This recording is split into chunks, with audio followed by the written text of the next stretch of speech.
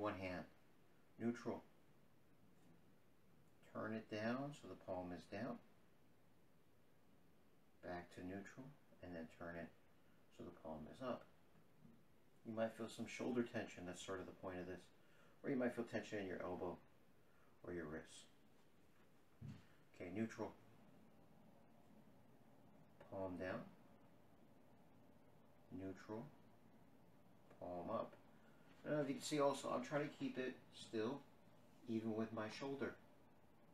Palm up. That's probably the harder one. Palm down. Palm up. If you really want to be adventurous, I don't know if you can see this on the camera, I'm going to turn all the way so my thumb is down and my pinky is up. So, again, start with the neutral. Palm down, palm up, and then turn it all the way around till the thumb is down. See, I'm kind of exaggerating for you so you can definitely see it on the camera, right? And see how tight you feel in your arm. Now, just trying to make sure I'm doing this on camera to the, out to the side. Now, if I did both, I'd probably be off the camera, right? So, down, up, back to neutral, down, and turning. And I'm trying to keep it as much one level from my shoulder out.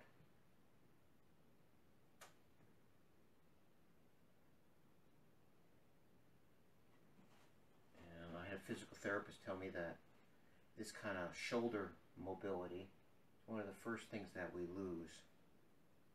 So it's a very simple exercise, but it's important. And if you can't do this one, it's okay. This one's the hardest one actually. This is easy, that's why we call it neutral. This is relatively easy. This starts becoming hard, and then when we turn all the way around, and see, then we start maybe trying to go up. And you can see with me, because this is where I have shoulder injuries, I start to look funny.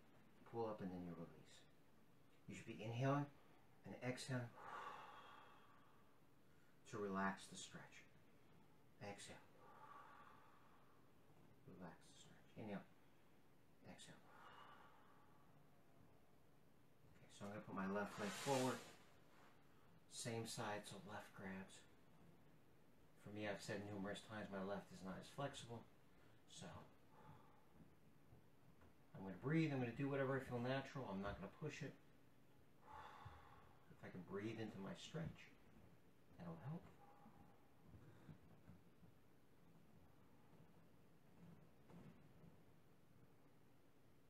I'm going to come across right hand to left toes. This is going to be the harder one, and since it's the less flexible leg, I'm going to show definitely less flexibility here. But I'm going to still breathe. Exhale and use that to reach into my stretch.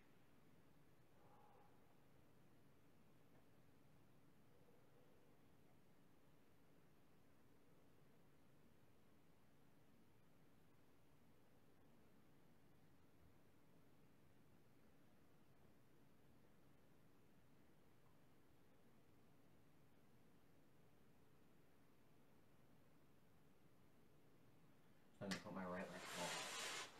My more flexible leg.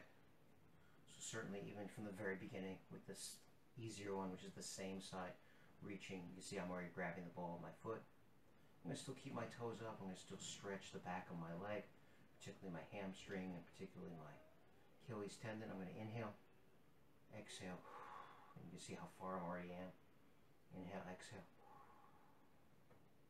Inhale, exhale. Inhale, exhale. You see how far down I'm getting already. Now a little more difficult is to reach across. This is my left hand grabbing my right toes. But again, I'm more flexible on this side, so you can see it's already an easier stretch. I breathe into my stretch.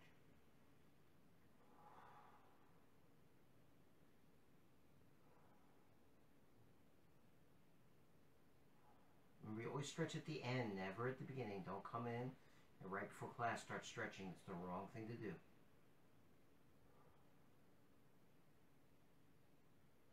But you see already, I mean, you know, I couldn't get my fingers to my ball of my foot on the other side. But that's okay. So now we're going to bring it back to the butterfly stretch. We always start and end with the butterfly stretch.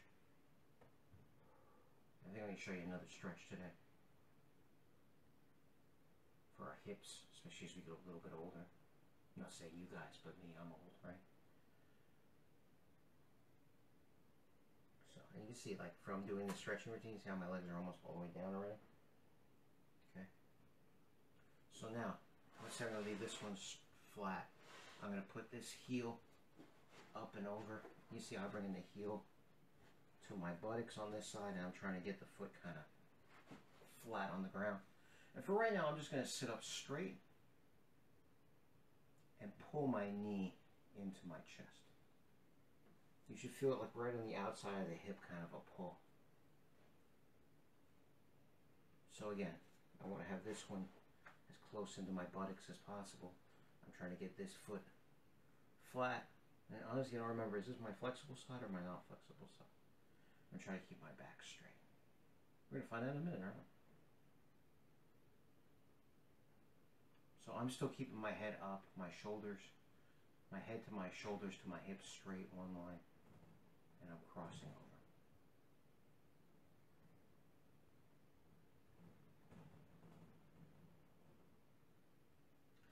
And we're going to switch. So in other words, I'm going to put this one flat. I'm going to try to get the ankle as close to my buttocks as possible, and I'm trying to get this foot on the floor. And then I'm pulling my knee up into my chest by keeping my back straight. I'm trying to get this one on the floor. Yeah, there we go. Now, actually, probably at the beginning of this uh, home training, I couldn't have done this because I hadn't done these stretches in a while. And by doing what I showed you, which is first we do a butterfly, then we do uh, alternating straight, and then we pull back. And actually, I didn't do the two legs straight today, but that's okay. I wanted to make sure I had some time to do this. And I don't know if people are scheduling their workouts around their other stuff, so I want to always keep it around 45 to 50 minutes with these workouts as opposed to the hour we do in the gym. But I want to make sure I had time to cover this. And if I hadn't done first butterfly and then started doing straight leg stretches, I probably wouldn't be able to do this at all. So again, it's, it's a matter of progress and it's a matter of reactivating your body sometimes. When you were younger, you were more flexible, you were stronger. Um, but that doesn't mean it's gone. It just needs to be reactivated. And so a lot of the stuff we do in the name of Qigong, you know, um, there's some stuff on Teachable from the Qigong stuff. Um, it's, it's to reactivate your body, to remind it what it used to be able to do, what it used to be capable of doing.